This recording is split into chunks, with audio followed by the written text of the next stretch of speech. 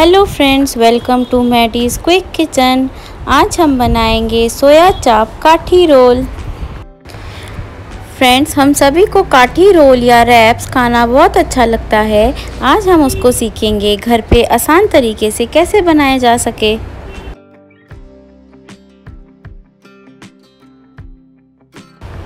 Role बनाने के लिए हमें चाहिए कटा हुआ टमाटर एक कटी हुई हरी मिर्चें, दो से तीन, अदरक लहसुन का पेस्ट, आधा चम्मच मेयोनीज, टमाटो सॉस, कटे हुए प्याज, एक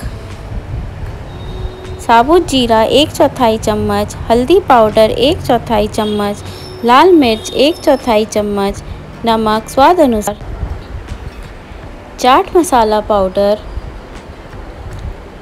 vinegar soya sauce और सोया चाप। ये आपको बाज़ार में बड़ी ही आसानी से मिल जाएगा। साथ ही हमें चाहिए नींबू का रस और आटा। ये हमने नॉर्मल आटा जैसे गूंदते हैं, वैसे हमने आटे को गूंद के रखा है। तो आइए स्टार्ट करते हैं। सबसे पहले हम गूंदे हुए आटे से रोटी बना लेंगे। जैसे हम नॉर्मली रोटी बेलते हैं वैसे रोटी की तरह बेल के इसको हमें पराठे की तरह सेकना है। अगर आपको हमारा वीडियो पसंद आए तो लाइक करें, शेयर करें और सब्सक्राइब करें। और हाँ बेल आइकन को ज़रूर दबाएँ हमारे साथ जुड़े रहने के लिए। अब हम तवे में इसको सेक लेते हैं। इसको दोनों तरफ़ से अच्छे से सेकेंगे और थोड़ा सा ऑयल लगा के पराठा बना लेंगे। जब पराठा बन जाए तो हम इन सबको तैयार करके एक साथ रख लेते हैं। अब हम सोया चाप लेंगे। ये सोया चाप विदाउट कलर वाला है। आप चाहे तो कलर वाला भी ले सकते हैं। मार्केट में दोनों ही अवेलेबल हैं। सबसे पहले हम सोया चाप में से इस स्टिक को अलग कर देते हैं और इसको छोटे छोटे पीसेज में काट लेंगे। अब हम सोया चाप की स्टफिंग तैयार करते हैं। स्टफिंग बनाने के लिए सबसे पहले एक नॉन स्टिक पैन में हम डालेंगे एक से दो चम्मच तेल। उसमें डालेंगे बारीक कटे हुए प्याज। उसमें हम डालेंगे थोड़ा सा अदरक लहसुन का पेस्ट। अब हम इसमें ऐड करते हैं बारीक कटे हुए हरी मिर्च। और इसको थोड़ा सा चला लेंगे। इसको ज़्यादा देर तक नहीं पकाना, हल्का सा टॉस करना है।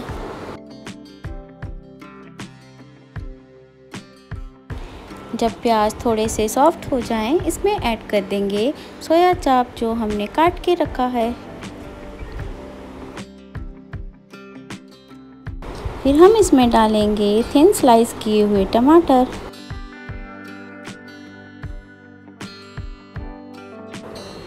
अब इसमें डालते हैं थोड़ा सा नमक स्वाद अनुसार। फिर डालेंगे हल्दी पाउडर। अब हम इसमें डालते हैं साबुत जीरा या जीरा पाउडर। फिर डालते हैं लाल मिर्च पाउडर। अब इसको थोड़ा सा अच्छे से मिला लेते हैं। अब इसमें स्प्रिंकल करते हैं थोड़ा सा चाट मसाला पाउडर आधे चम्मच के करीब। अब हम ऐड करेंगे थोड़ा सा सोया सॉस। साथ ही ऐड करते हैं थोड़ा सा विनेगर।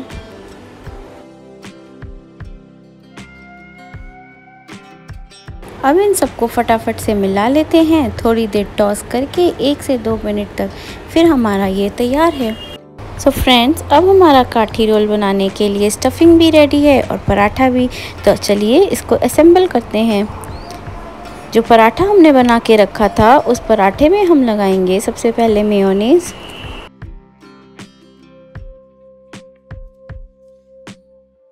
मेयोनीज़ लगाने के बाद हम इसमें लगाएँगे टमाटो केचप।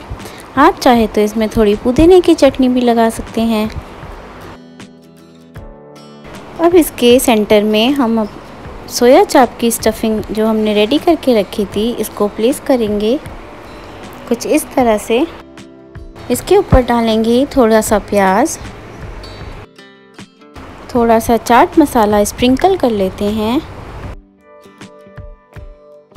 और डालेंगे थोड़ा सा नींबू का रस और इसको रोल बना लेंगे। इसको इस तरह से घुमा के रोल बना लेना है और नैपकिन के अंदर फोल्ड करके सर्व करें। आई एम श्योर फ्रेंड्स ये रेसिपी बच्चों को बहुत ही पसंद आने वाली है। सो so फ्रेंड्स हमारा सोया चाप काठी रोल तैयार है। इसको आज ही ट्राई करें फैमिली और फ्रेंड्स को खिलाएँ और हमें अपना एक्सपीरियंस ज़रूर शेयर करके बताएँ। For more such videos like share and subscribe don't forget to press the bell icon Thanks for watching.